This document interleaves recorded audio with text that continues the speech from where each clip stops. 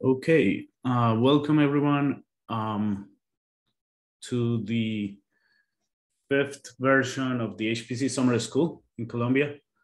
Um, I'm looking at the list. Uh, if anybody is okay with me switching to Spanish, I will do that.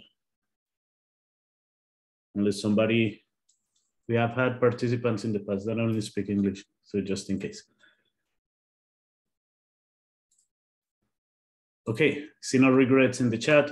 Um, bienvenidos todos a la quinta versión de el HPC Summer School, eh, organizada por Cyber Colombia y por varias universidades como acá Universidad del Rosario, Universidad de los Andes, al igual que varias instituciones internacionales. Eh, la idea de este evento es fomentar, creo que va a quitar como fomentar el, área de High Performance Computing en, en Colombia, eh, entrenar personas para que haya mucho más interés y para que lo veamos como una herramienta, ya sea en la parte de industria o en la parte académica. Esto, primero voy a felicitar el comité organizador que sé que ha hecho un gran esfuerzo por que todo salga bien, en especial Aurelio, quien ha cargado las banderas de la organización. Aurelio es un estudiante de la Universidad de los Andes eh, y él ha sido realmente una de las personas que más ha trabajado en esto. Eh, mi nombre es José Manuel Monsalve, de haber dicho eso, soy el segundo en la, lista de abajo. También tenemos a Esteban, a Carlos eh, Álvarez, a Carlos Vera, a Harold y a, y a Juan Pablo Mayarino. O sea que si nos ven por ahí, tienen alguna duda, bienvenido sea.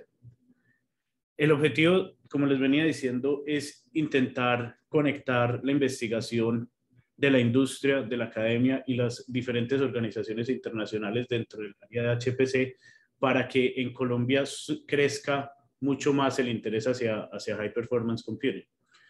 La idea nace en que la mayoría de las comunidades de HPC en el mundo son comunidades muy conectadas, son comunidades que eh, entienden que esto es un eh, mundo donde si no compartimos conocimiento y no compartimos herramientas, no logramos hacer los puentes necesarios con las instituciones extranjeras, es muy difícil que una única organización tenga el control o el poder de llevar a cabo todos los, eh, todas las partes que se requieren en HPC. Eso incluye el software en la parte de las comunidades de código abierto open source y eso incluye el hardware en la, en la parte de Open Science Laboratories, por ejemplo, de Estados Unidos o de España, donde ellos siempre esperan que hayan colaboraciones y que hayan usuarios de otros países, siempre y cuando eh, la ciencia que se haga en esos centros sea ciencia abierta.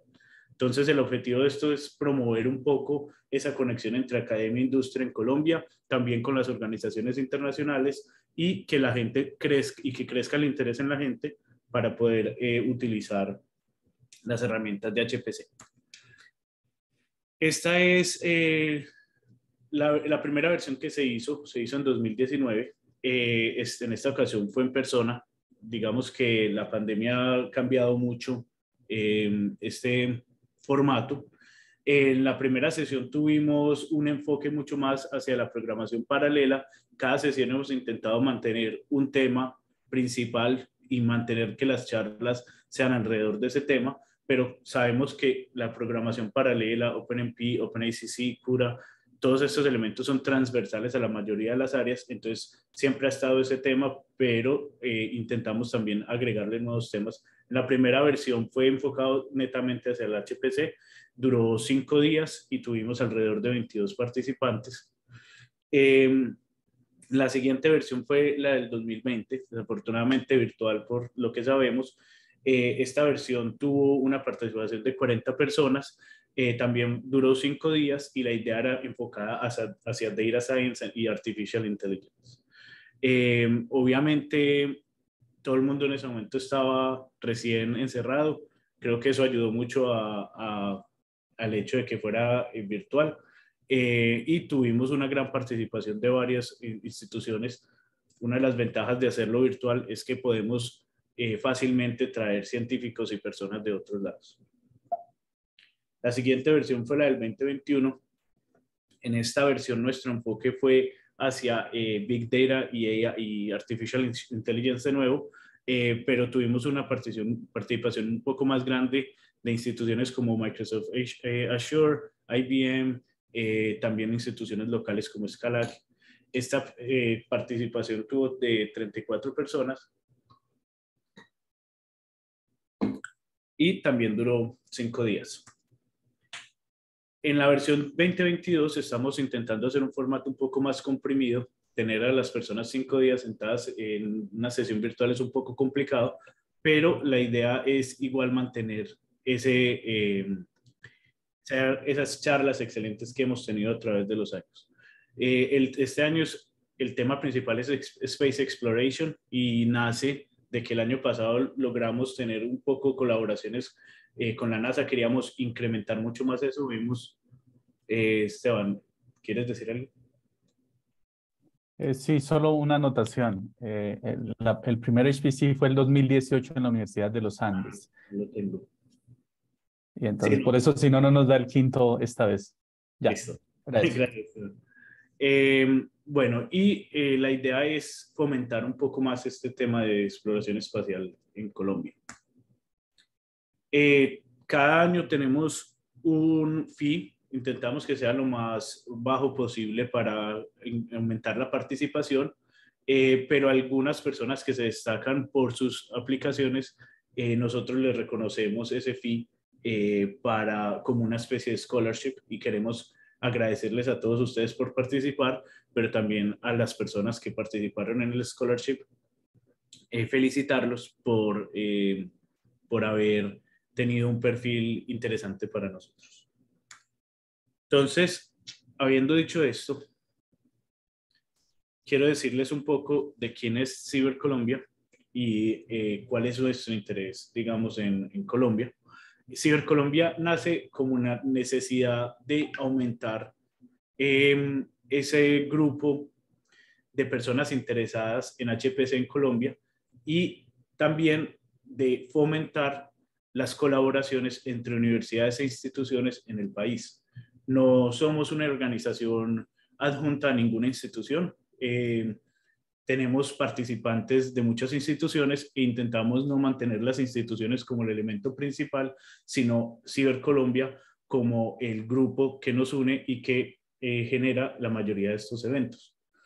Cibercolombia nace en el 2016 en la Universidad Distrital pero se extiende a partir de un, workshop de HPC, pero se extiende a ser eh, multiuniversitario en 2017 y intenta siempre mantener conexiones con el exterior, mantener conexiones con eh, entidades eh, de investigación del exterior y eh, entidades de, de, de, industria del exterior que eh, dominan el área de HPC y nosotros intentamos mantener esas conexiones para poder traer a esas personas a, estos eventos.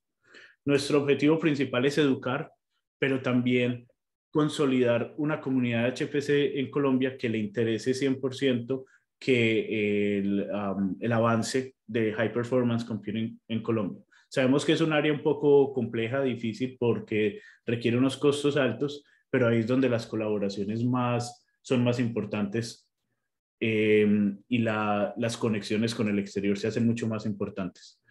Eh, yo creo que para hacer HPC no se requiere tener los centros de cómputo en todas las universidades, pero más bien lograr hacer esas conexiones con, con los centros que ya los tienen y demostrarle a ellos que nosotros tenemos aplicaciones suficientes para poder llevar allá. Algunos ejemplos por ejemplo, con, con Esteban. Por ejemplo, con Esteban estamos analizando eh, la posibilidad de llevar ciertos códigos de simulación de eh, clima, eh, primero llevarlos a, tareas GPU en Cloud Computing HPC, en una, una plataforma que se llama Chameleon Cloud, y después llevarlo a, ojalá llevarlo a uno de los, de los grandes supercomputadores del mundo. Como les veníamos diciendo, intentamos hacer un puente entre la academia y la industria y las organizaciones internacionales. Eh, yo, por mi parte, soy investigador de Argonne National Laboratory. Intento participar en la mayoría de estos eventos para poder incrementar el interés hacia HFC. Eh, pero también hemos tenido eh, grandes organizaciones como NASA, NVIDIA, MathWorks, AWS. Eh, NVIDIA ha sido uno de los grandes colaboradores de nosotros y sostuvo en gran parte algunos de los eventos anteriores, pero cada año intentamos incluir muchas más organizaciones, así que si ustedes hacen parte de alguna organización que tenga interés en lo que estamos hablando, bienvenidos sean a poder hacer esos puentes que veníamos hablando. obviamente la idea en esta ocasión no a hablar mucho de eso porque ya les dije demasiado, es que intentemos unir esa, eh, crear esa comunidad. Así que la parte de networking es muy importante, su participación es muy importante y obviamente eh, los comentarios que puedan hacernos de cómo mejorar son muy, muy importantes. Los tomaremos con la mejor forma. Algunos resultados de las ediciones anteriores, con gran participación de eh, de industria y, investigación. También hemos participado en Carla y también hemos hecho charlas mensuales donde tenemos entre 20 y 30 asistentes de temas diferentes, algunos introductorios, algunos simplemente para eh, mejorar un poco el, em, como la parte de networking y otros eh, un poco más avanzados para personas que están ya trabajando en temas específicos. Eh, algunos de los eventos en los que hemos participado como Citri Biodiversidad, perdón, el, eh, el workshop de la Universidad Distrital y la HPC Summer School del 2016, del 2018, perdón, en el 2019 también, en el 2020 virtual, en el 2021 también virtual hicimos una sesión de networking eh, por medio de Gather. y bueno, pues simplemente eh, la idea es continuar esta, esta tarea. Estaremos anunciando algunas de nuestras charlas en los diferentes medios, está Twitter, está el Slack Channel para que se unan. Entonces son bienvenidos completamente a, a participar en esas charlas. Simplemente para que tengan mucho más información, acá les dejo en nuestro sitio web. Eh, únanse al Slack Channel, se los voy a copiar en un segundo en el chat para que eh, se puedan unir al Slack Channel si no lo han hecho y eh, manténganse en comunicación con nosotros. Estamos con las puertas completamente abiertas para que, para que haya mucho más interés hacia estas áreas. Eh, muchas gracias.